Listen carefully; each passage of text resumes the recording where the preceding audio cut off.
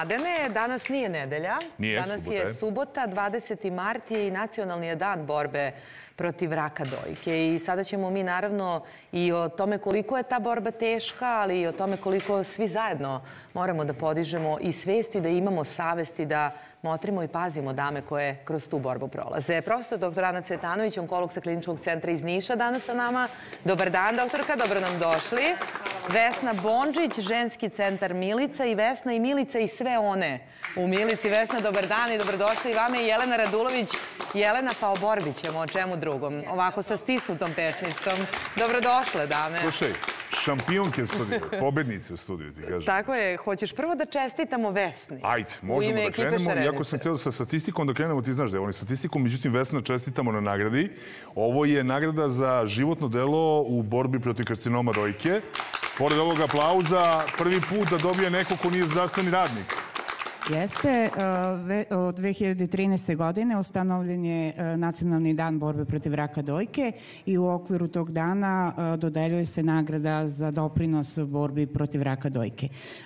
Do sada su zdravstveni radnici bili nagrađeni sasvim zaslužno ovom nagradom i ja se ovom prilikom zahvaljujem svim zdravstvenim radnicima koji su uložili tolike napore u doba covid da nas, za nas pacijente onkološke bude koliko toliko norm, normale u, u ovom pruženju usluga. Hvala im veliko e, i evo ove godine jedan aplaus za te ljude koji su stvarno e, ovaj, e, heroji. E, ove, ove godine je e, ta nagrada dodeljena meni za životno delo. Ja 11 godina ovaj, pružam pomoći e, ovaj, osobama obolelim od raka dojke. E, Molim ja vas da ovo- kažete gledalcima ja- našim šta ste da. uradili na panelu. Pa, uh, ja sam upalila svetlo. Uh, ova, ova nagrada je u stvari, uh, to su živote svih onih uh, žena koji su prošle kroz ovu priču za ovih 11 godina i svaka je ostavila trag uh, u ovoj nagradi. Uh, ovo je posvećeno svim ženama koje, se, koji su pored svoje lične pobede ostale na bojištu i pružaju pomoć i podršku uh, novobolelima od raka dojke, ali i veliku podršku zdravstvenog sis- zdravstvenim sistemu. I onda to svetlo da ih bolje vidimo. Bravo, Vesna.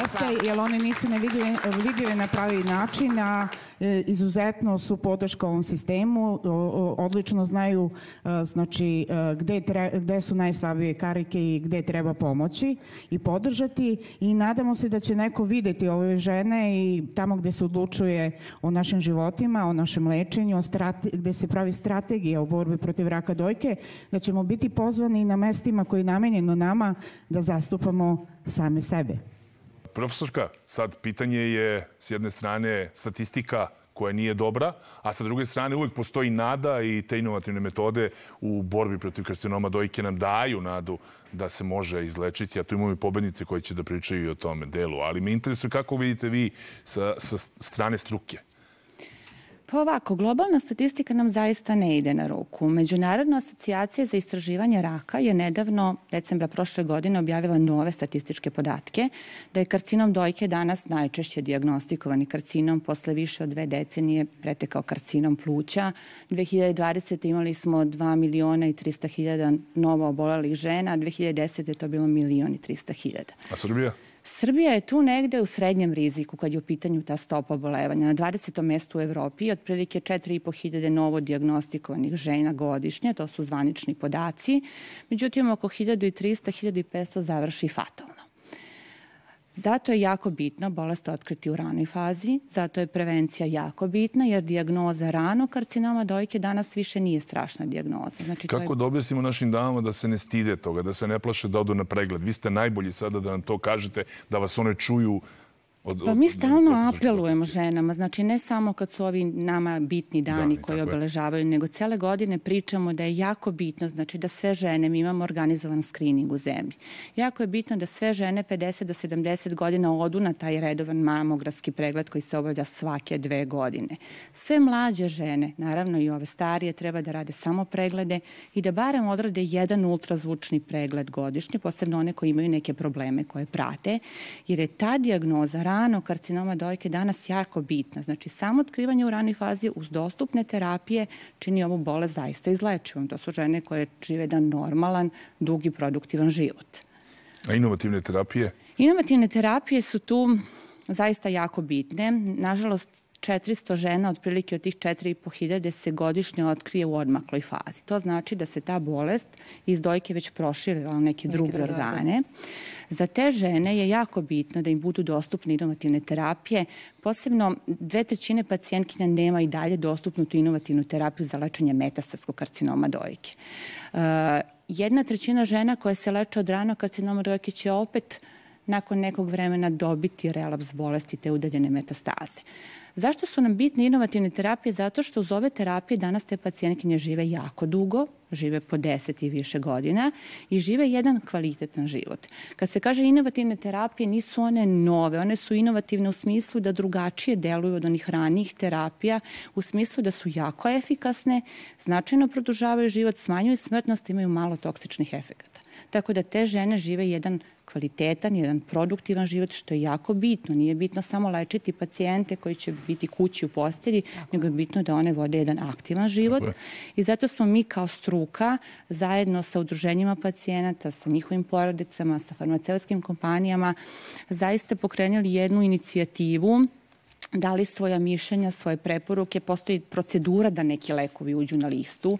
Znači, dali svoje mišljenja, poslali tim republičkim stručnim komisijama koje su zaista prepoznale značaj toga, stavile na listu prioriteta poslali dalje gde treba i mi sad, da kažemo, očekujemo odgovor od zdravstvenih vlasti, imamo neke nagovešte da će to biti kako treba, ali nam je jako bitno da u tome istrajemo i da to uspemo, smatramo da naše žene imaju apsolutno isto pravo na lečenje kao žene svuda u svetu, kao žene, ta terapija je dostupna svim ženama u regionu.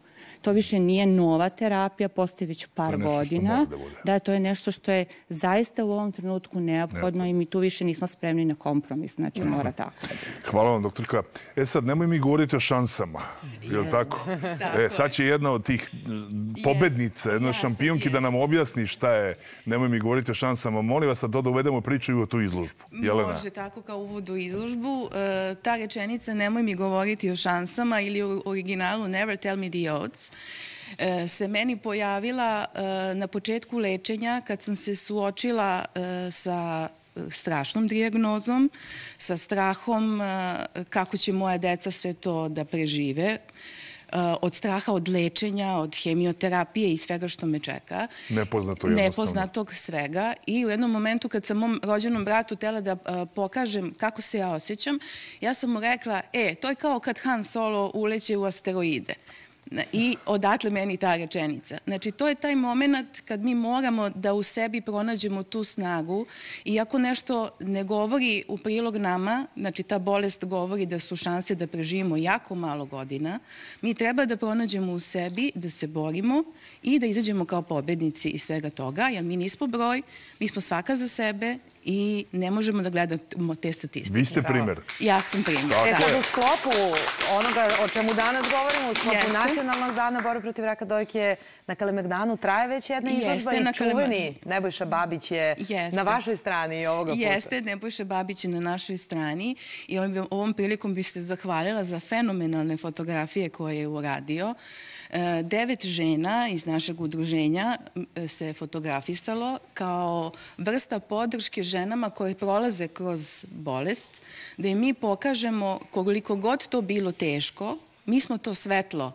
koje je se upalilo, što bi Vesta rekla, e, da, znači, kakva god bila diagnoza, idemo dalje i idemo u pobitu. Ta, ta rečenica, nemoj mi govoriti o šansama, da kažemo iz Ratova zvezda, kada Han Solo ulazi u asteroide, yes. kad mu kompjuter računa da su šanse da prođu minimalne, nemoj mi govoriti o šansama, je te vaša tetovaža, ali tako? Jeste, jeste. I pored toga tri ruže za tri, tri devojčice. Tri ruže za tri devojčice. Za tri vaše čerke. Da, da. Bravo. S obzirom da, da statistika je govorila da e, neko u 30 i nekoj godini neće tek tako da oboli od raka, meni se to desilo. E, statistika da neću da preživim je isto bila velika, ali ja sam i to preživjela i pored svega toga troje dece Bravo. Opet nije po statistici, ali to je to. Idemo dalje. A ne, To je na fotografiji. To je na jednoj fotografiji, tako? Jeste, to je na jednoj fotografiji. Da, da. Vesna, hteli ste da se nadovežete na E, izložbu? Ja sam samo rekla da sam strašno ponosna na ove žene uh, koje su uh,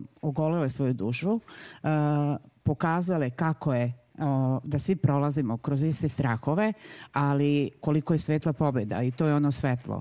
Ono što je zajednička pobeda svih nas e, jeste podrška ženama e, obolelim sa metastatskim rakom dojke, e, jer dve trećine žena i dalje nema mogućnost jedino u regionu da se leče inovativnim terapijama, a to znači bolji kvalitet života, produžetak života, mi mislimo da naše žene imaju pravo na takvo lečenje. E, ono što je e, zajednička poruka jeste e, da mi koje smo preživele borimo se za njih koje sada su u mraku, jer te staze su mnogo drugačije nego naše. Te staze su metastaze i samo se inovativnim terapijama leči. Njena žena u Srbiji ne sme da čeka odobrenje da bi dostojanstveno živela. Eto, to je naša poruka.